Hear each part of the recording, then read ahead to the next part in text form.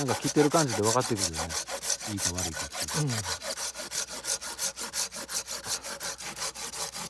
あこれ。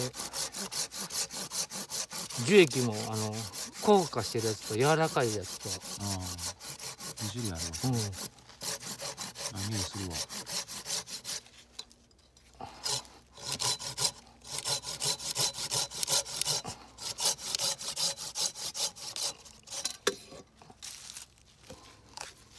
おいいやん。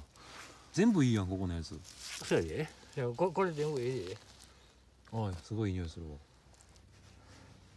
こういうの削りやすいよね。柔らかいタイプ。うん。やっぱりこれが一番いいかな。キンキンタイプこれ。やっぱりこれがいいよね。ツルツルやし、あこう見たら色の濃さがはっきりわかるね。なるほど